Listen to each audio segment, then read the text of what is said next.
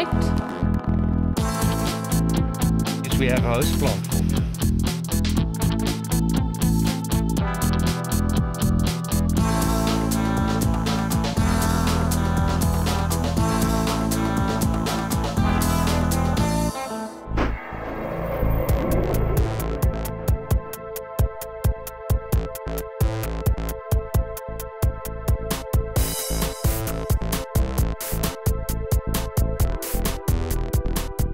Dis nou al 5 jaar lank wat professionele en amateurwetenskaplikes dwars oor die planeet saamspan om DNA-monsters van alle lewe op aarde in een databank bymekaar te bring.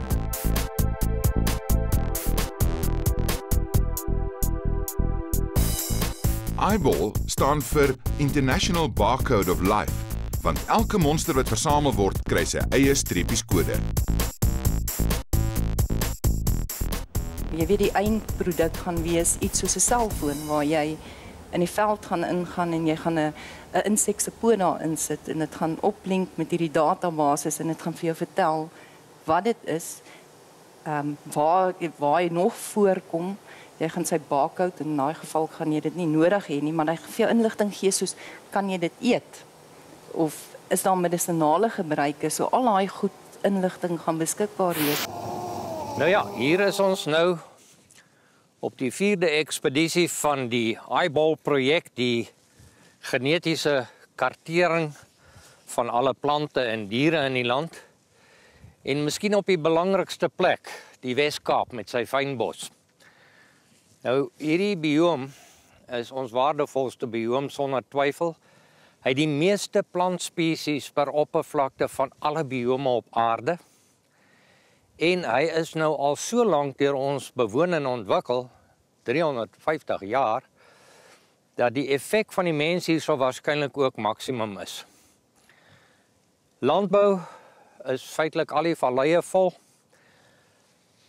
Uitheemse plante is ingebring, ergste van alles en hulle neem oor hierso. En natuurlik aardverwarming kom ook nog hiernatoe. Nou as mens mooi daaroor dink, is alles net gevolge van te veel mense. Te veel mensaktiwiteit. Uiteindelik is alle ekologiese probleme net oorbevolking. Dis al wat dit is. Minder mense, minder skade. Hoewel daar heel jaar lank kliphard versamel word in Suid-Afrika, is die klimaks elke jaar se Toyota Enviro Outreach. Dis 2 weke wanneer wetenskaplikes uit verskillende dissiplines saam die veld invaar. Hierdie jaar was die basis weer eens Gerard Groenewald se Kliphokkop Natuurreservaat. Elke goggaatjie en takkie word sorgvuldig gemerk en verpak met soveel inligting by as moontlik om die uiteindelike database so volledig as moontlik te maak. En getrou aan sy aard, neem dit prof nie lank om iets interessants uit te snuffel nie. Hierdie is natuurlik nou een van die uh fynbos oogpisters. Baie mooi waarskuwingskleure die kerel. Hy waarsku jou daarom voor hy jou skiet. En hulle is roofdiere, né? Hulle vang ander insekte. En uh hierdie roofdiere is natuurlik afhanklik van ander insekte. So as jy as dit sleg gaan met die insekbevolking hier, dan gaan kry hierdie goed eerste swaar, soos leeu's.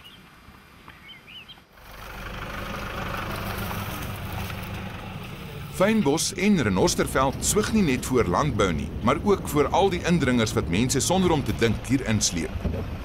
En hierdie jaar het ons nou die tema van um, indringerplante en diere. So Ja, dit maak ja. dit net nog meer interessant, Ja. maar dit meen nie ons vergeet van die ander goed. Ja, Is nee, nie- duidelik nie, Ons ja. kan nie oor 'n plant loop wat 'n blommetjie het of 'n insek nie. Ons versamel. Nee. En hierdie pragtige pink lelie was een wat hulle verseker nie kon weerstaan nie. Omdat hy in die herfs blom, is dit die eerste keer dat hulle hierdie spesies versamel. Hoeveel op so 'n plek soos hierdie skat jy spesies van lelies? Wel, uh, ek sou sê so maklik oor die 50. Pragtig. Ja. Op hierdie berg alleen. Ja. Ons sien nou natuurlik hierdie wat in die herfs blom op die oomblik. Ja, ja. Ons het nou al in totaal ek dink so oor die 5 spesies versamel. Ja. Wel, dan uh, voel ek daarom nou nie so sleg nie, want ek het daarom so vier spesies lelieboorders alreeds gekry. Want elke spesies het waarskynlik 'n spesifieke boorder, dis hierdie snuitkewers. Ja. En hulle larwes ontwikkel in die bolle, né? Okay. En uh omdat hierdie goed natuurlik taamlik chemies ehm um, gelei is, hulle het goeie defenses, né? Mm. Uh neem ek aan hierdie uh, kewers is gespesialiseer. Hulle doen een lelie. Ja. En as jy nou vier spesies hier gevang het, dan mag jy wonder hoeveel moet hier wees. En as jy vir my sê 50, dan word ek sommer moedeloos. Talk of the devil. Kyk hoe opwindend. Hier vang ons nou 'n snykewer by die lelies. Een wat ek nog nie gehad het nie. En hierdie is natuurlik die parasiet van hierdie lelies, né? Nou wat so wonderlik is, met die plantkundiges hier weet ek nou omtrent hoeveel lelies hier is. Ek weet hoeveel snytkewers moet ek soek voor ek waarskynlik al die spesies het wat hier is. As ek alleen hier was, het ek nie geweet nie. So hierdie gemengde ekspedisies van gemengde spesialiste iets is iets wonderlik stimulerend. Met die lelie in die hand en die snuitkewer in 'n botteltjie, is dit weer tyd om aan te beweeg. En hier groei die hakjas dig. Hier was nou so 'n brand deur hierdie fynbosse jaar gelede. Nou lyk dit of al hierdie hakke al lekker doodgebrand het. Is dit so? Ja, ek dink uh, heel waarskynlik het hierdie dood gebrand, maar hulle het natuurlik ehm um, jy weet hulle sade vrygestel. So Ja. ehm um, oor 'n ruk sal uh, jy dan sien dat uh, die kleintjies soos hare op ons rug opkom hierso. Ah. Mens wonder of daar 'n dag kom wat hier net indringers gaan wees en niks meer fynbos nie. Wel, ehm um, die fynbos is die biome wat die meeste geaffekteer is deur indringers en Ja. uh, dit is la- grootendeels bome en struike soos hierdie hakie. Ja. En dit is omdat daar ehm um, nie regtig 'n nis is wat vervul is deur bome en struike nie. Okay. So hierdie ouens sien 'n geleentheid en hulle kom Ja. in. En hulle vermors natuurlik water en hulle Ja, ehm um, meng in met die die vuurpatrone. So die Ja, vure ja, ja. brand warmer as wat hulle moet brand en meer gereeld as wat hulle moet brand omdat daar soveel ekstra biomassa Ja, is. ja.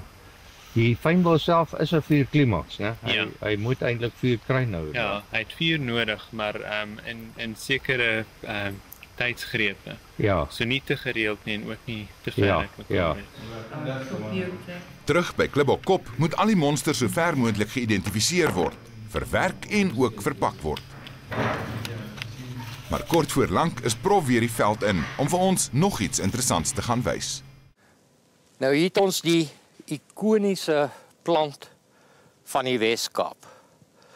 Die protea, die cricketblom. Nou in hierdie proteas is daar natuurlik ook weer Kaapse spesiale insekte.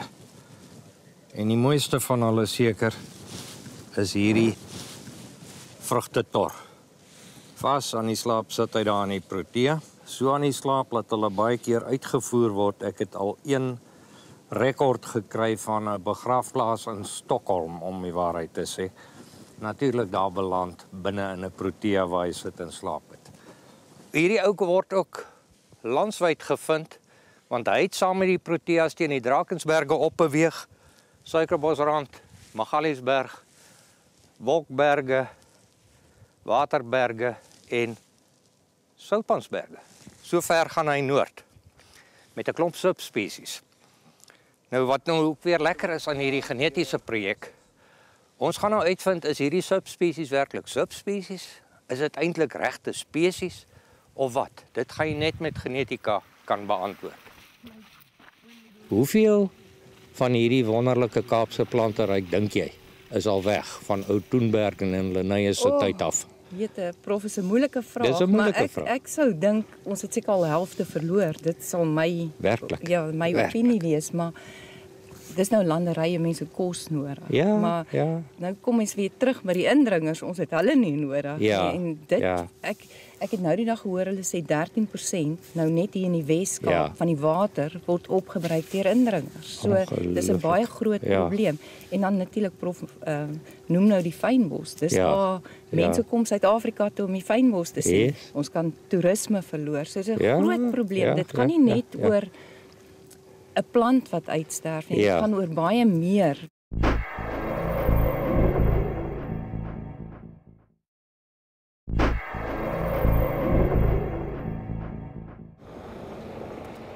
Vroegoggend by Klibbokop buite Woester. Terwyl die span regmaak vir nog 'n dag in die veld, wag prof vir 'n spesiale groepie besoekers. Hierdie is nou my span hoor, want hulle vang goggas.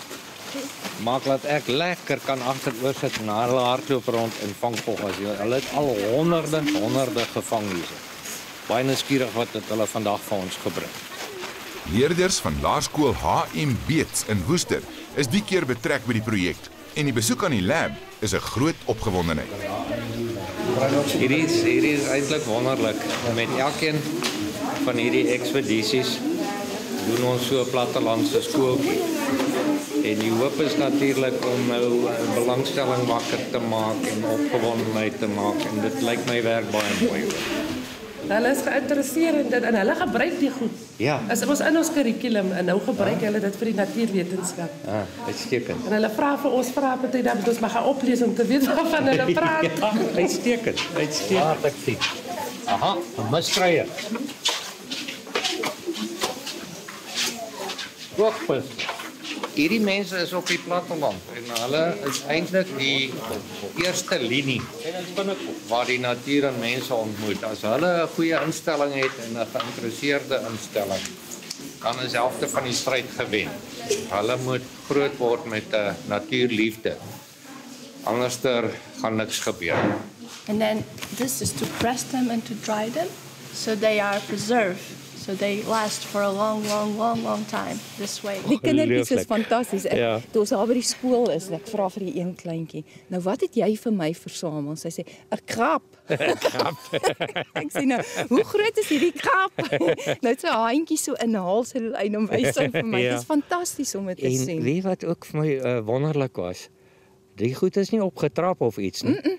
Die krappie kom in water hier by ons aan. Jy weet, hy hy's hy's klaar 'n troeteldier. My prof is in die insetjies, dan sit hulle stokkies en blaartjies Ja, laat in hy hy en 'n laat hy- gaatjie bo dat ja, hy kan laat hy asemhaal. gelukkig is. Dis Nee, te dis mooi. fantasties. Daar was daarom ook 'n kans om bietjie op die strand 'n draai te gaan maak. Maar nie vir swem nie. Dalk is dit die sterk suidooster of dalk die koue water, maar die visvangers het duidelik nie hengelaars se geduld nie. Nou in hierdie poel het hulle nou so kortwerkende verdowingsmiddel ingegooi.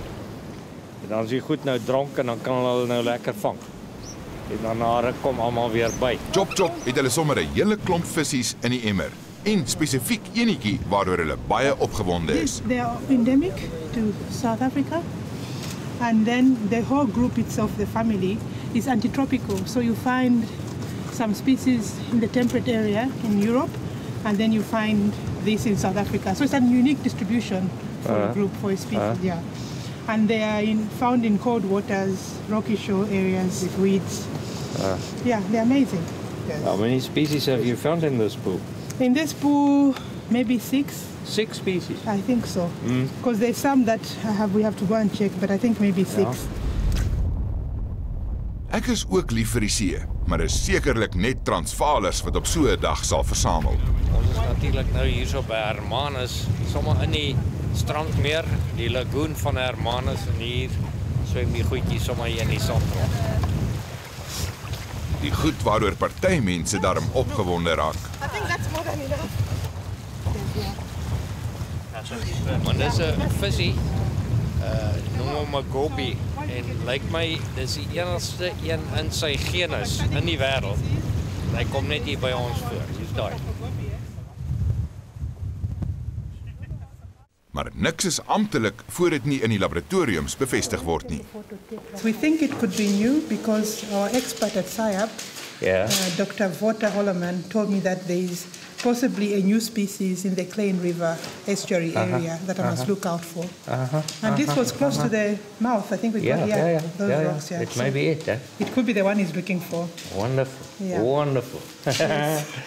because he's identified it from a specimen in the collection that was collected from around the Klein River a long time ago, and he doesn't have any other vouchers to compare that Ja, specimen with. ja. They're either photo- Dis een ding wat Eyeball elke jaar vir ons wys.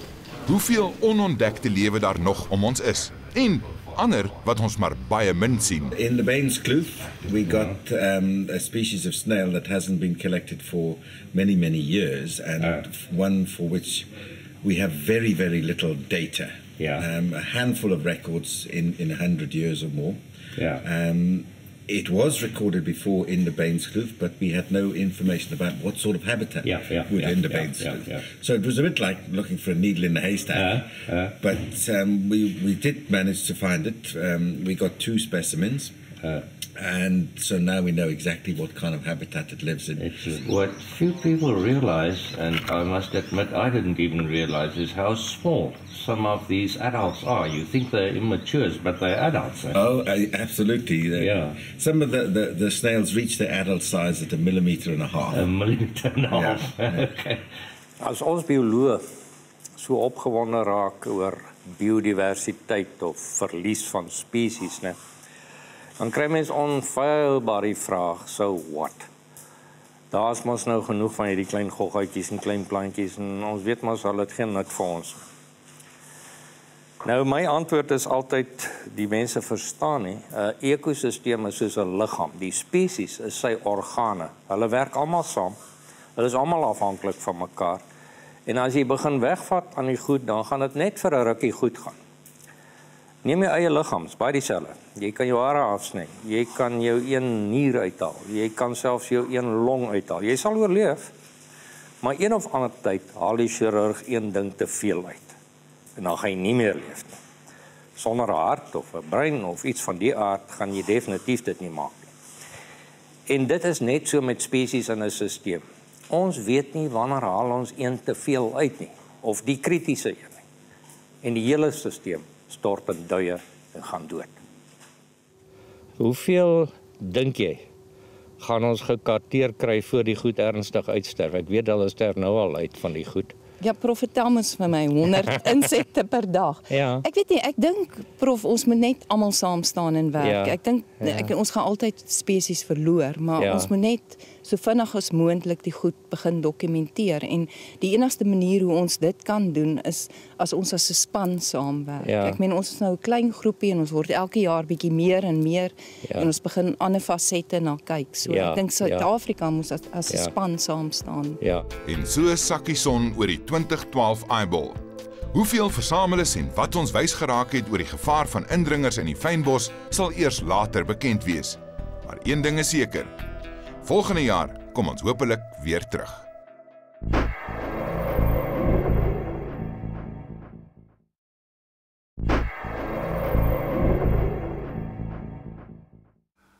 Voels, seekoeie en paddas.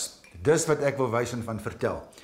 Ek moet maar weer vra, moenie vir my net die mooiste foto stuur uit al die fotos wat jy van wat ook al geneem het nie. Stuur die hele lot en dit hou vir video bydraes. Nie net die dramatiese oomblik nie, maar ook die stukkie video wat wys wat vooraf en daarna gebeur het. Ek wil kies wat ek wil wys. Reg so. Ek het in die onlangse pos mooi fotoreekse oor die broeigedrag van olyfluisters, laksmanne, suikerbekkies en paradysvleevangers gekry. Dis laasgenoemde wat ek nou gaan wys en die fotos is deur Johan Oosthuizen van Oos-London geneem. Die nes was vlak by 'n venster sodat fotos geneem kon word sonder om die broeipaar en kuikens te versteur. Die koppievormige nes word uit plantmateriaal gevleg en met spinnekop sydraad verweef en buite met stukkies ligene versier om dit te kamoufleer.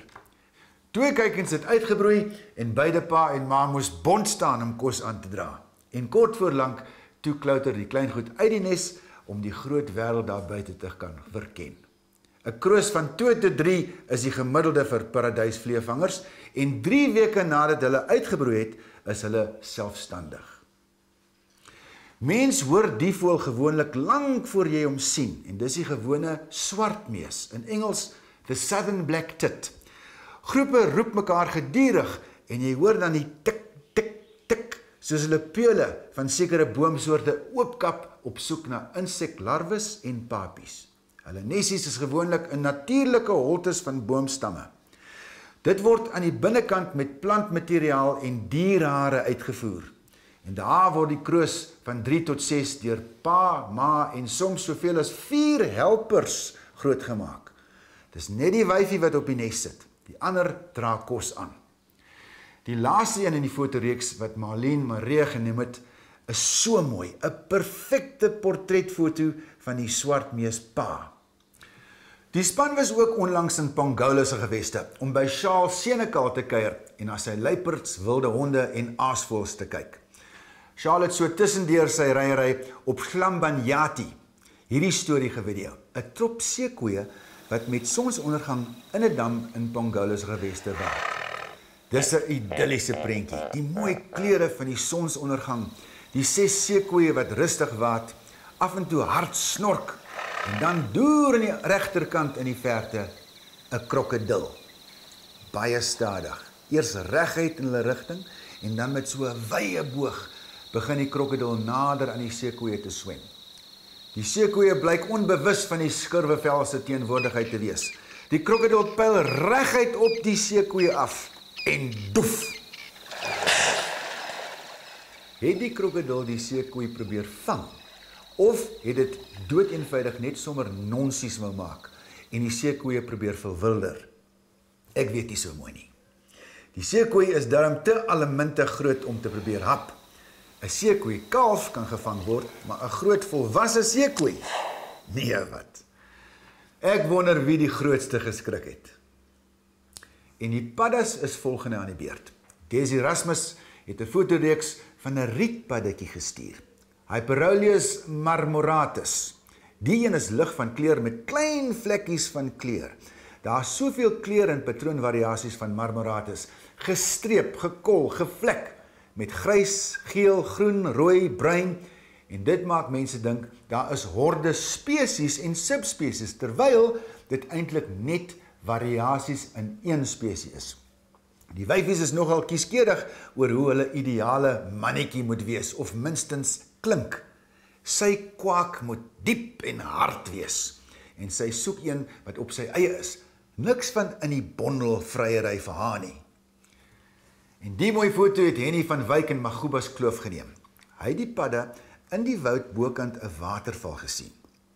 Mooi, maar algemeen dis die gewone rivierpadde. Erika Skutte se fotos is by die Libertas vakansieoord naby Nylstroom geneem. Dit was vroegoggend toe sy sien hoe 'n skurwepadde oor die pad aangespring kom.